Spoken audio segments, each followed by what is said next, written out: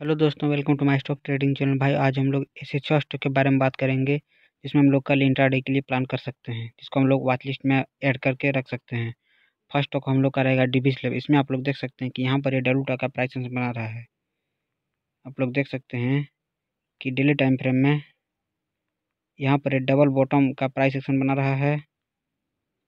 और जिसको हम लोग आवरली टाइम फ्रेम में देखें तो यहाँ पर आप लोग देख सकते हैं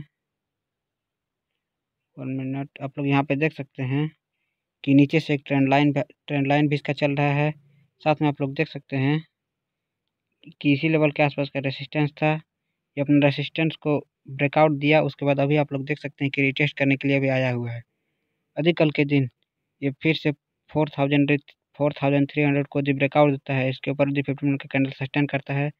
तो इसमें हम लोग पंद्रह से बीस रुपये के आसपास हम लोग इसमें स्टॉप लॉस रख सकते हैं। वन एटी टू हम लोग का टारगेट होना चाहिए। सेकेंड स्टॉक हम लोग का रहेगा टाटा स्टील लिमिटेड इसमें आप लोग देख सकते हैं कि यहाँ पर इस लेवल के आसपास का रेसिस्टेंस था। आप लोग देख सकते हैं किसी लेवल के आसपास का रेसिस्टेंस था। इसको ब्रेकआउट दिया और उसके उसके बाद इसको रिटेस्ट किया और फिर से अभी आप लोग देख सकते हैं कि इसमें कंटिन्यू बाइंग का प्रेशर आ रहा है। साथ में आप लोग देख सकते हैं कि आवरली टाइम फ्रेम में यहाँ पर इसको हम लोग पोलन फ्लैग भी बोल सकते हैं। यहाँ से कंटिन्यू रैली हुआ इधर, उसके बाद फिर यहाँ पर ये पोलन फ्लैग का पैटर्न बनाया फिर से अभी कंटिन्यू बाइंग के लिए बाइंग के साइड इसमें जा रहा है। अधिक कल के दिन ये one thousand three hundred twenty को जब ब्रेकआउट देता है तो इसमें हम लोग इंट्राडे में लॉन्ग के लिए प्लान कर सकते हैं। इसमें हम लोग दस से पंद्रह रुपये के आसपास हम लोग स्टॉप लॉस रख सकते हैं वन एटी टू हम लोग का टारगेट होना चाहिए। तीसरा स्टॉक हम लोग का रहेगा बलरामपुर चीनी, इसमें आप लोग देख सकते हैं कि मार्केट में इसी लेवल के आसपास का रेसिस्टेंस है यदि हम लोग ड्रॉ करेंगे तो आप लोग देख सकते हैं कि इसी लेवल के आसपास इसका रेसिस्टेंस है फोर हंड्रेड फिफ्टी के आसपास साथ में आप लोग देख सकते हैं कि ये अपना रेसिस्टेंस को दो बार इधर हिट भी कर चुका है। साथ में आप लोग देख सकते हैं कि आज के दिन मार्केट इसी लेवल के आसपास मार्केट ट्रेड किया है। यदि कल के दिन ये अपना रेसिस्टेंस को ब्रेकआउट देता है।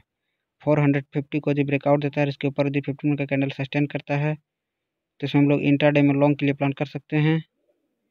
क्योंकि आप लोग देख सकते हैं कि इसमें एक अच्छा ब्रेकआउट के साइड जा सकता है।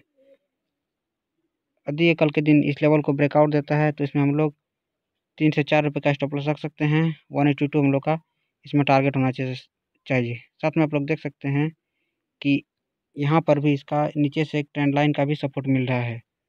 तो इस कल कल इसमें अच्छा ट्रेड मिल सकता है। चौथा स्टॉक हम लोग का रहेगा डी लिमिटेड इसमें आप लोग देख सकते हैं कि यहाँ पर डब्ल्यू का प्राइस सेक्शन बना रहा है। आप लोग देख सकते हैं कि यहाँ पर डब्ल्यू का पैटर्न बना रहा है। साथ में आप लोग देख सकते हैं कि इसमें ऊपर से रेसिस्टेंट इस, एक ट्रेंड लाइन भी था। आप लोग देख सकते हैं। यदि हम लोग ड्रॉ करेंगे। तो यहाँ पर पहले इस ट्रेंड लाइन को भी सपोर्ट मिल रहा था। आज के दिन इस ट्रेंड लाइन को भी ब्रेकआउट दे चुका है। और जिसको हम लोग आवरली टाइम फ्रेम में देखें तो यहाँ पे आप लोग देख सकते हैं कि इसको ब्रेकआउट देने के बाद अभी ये रिटेस्ट करने के लिए आया है। इसी लेवल के आसपास का रेसिस्टेंस था, अब इसको ब्रेकआउट दिया और अभी ये रिटेस्ट कर रहा है। अधिक कल के दिन मार्केट फ्लैट ओपन होता है। इसी लेवल के आसपास मार्केट ओपन होता है और यदि यहाँ पर एक फिफ्टी मिनट टाइम फ्रेम में एक ग्रीन कैंडल बनता है तो इसमें हम लोग इंट्राडे में लॉन्ग के लिए प्लान कर सकते हैं। तीन से चार रुपये का इसमें हम लोग हम लोग का स्टॉप लॉस होना चाहिए। वन एटी टू हम लोग का टारगेट होना चाहिए। पाँचवा स्टॉक हम लोग का रहेगा पावर ग्रिड। इसमें आप लोग देख सकते हैं कि यहाँ पर ये एम टाइप का पैटर्न बना रहा है। यदि हम लोग ड्रॉ करेंगे तो आप लोग देख सकते हैं कि यहाँ पर ये एम टाइप का प्राइस सेक्शन बना रहा है। साथ में आप लोग देख सकते हैं कि डेली टाइम फ्रेम में यहाँ पर एक इनसाइड कैंडल बना है। आप लोग देख सकते हैं कि आज के दिन यहाँ पर एक इनसाइड का कैंडल भी बना है। अधिक कल के दिन ये इस लेवल को ब्रेक डाउन देता है। टू हंड्रेड सिक्स को यदि ब्रेकडाउन देता है। और यदि इसके नीचे यदि फिफ्टी मिनट का कैंडल सस्टेन करता है तो इसमें हम लोग इंटरडे में शॉर्ट के लिए प्लान कर सकते हैं। साथ में आप लोग देख सकते हैं कि आवरली टाइम फ्रेम में मार्केट कंटिन्यू सपोर्ट के आसपास अपना टाइम स्पेंड कर रहा है। यदि कल के दिन ये टू हंड्रेड सिक्स को यदि ब्रेक डाउन देता है तो इसमें हम लोग तीन रुपये के आसपास हम लोग इसमें स्टॉप लॉस रख सकते हैं। वन एटी टू हम लोग का टारगेट होना चाहिए। छठा स्टॉक हम लोग का रहेगा कोल इंडिया लिमिटेड इसमें आप लोग देख सकते हैं यहाँ पर ये एम टाइप का प्राइस सेक्शन बना रहा है।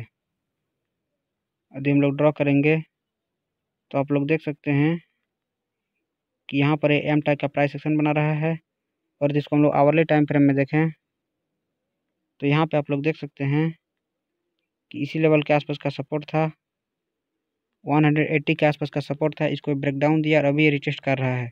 अधिक कल के दिन ये अपना लास्ट स्विंग को जो ब्रेकडाउन देता है इस लेवल को यदि ब्रेक डाउन देता है तो इसमें हम लोग इंटरडे में शॉर्ट के लिए प्लान कर सकते हैं। इसमें हम लोग दो रुपये के आसपास इसमें हम लोग स्टॉप लॉस रख सकते हैं। वन एटी टू हम लोग का टारगेट होना चाहिए। यदि इस लेवल को ब्रेक डाउन देता है तो इसमें एक अच्छा मार्केट में स्पेस है। इसमें कंटिन्यू एक बड़ा फॉल आ सकता है। यदि वीडियो अच्छा लगा तो वीडियो को लाइक करें, चैनल पर नए चैनल को सब्सक्राइब करें। Thank you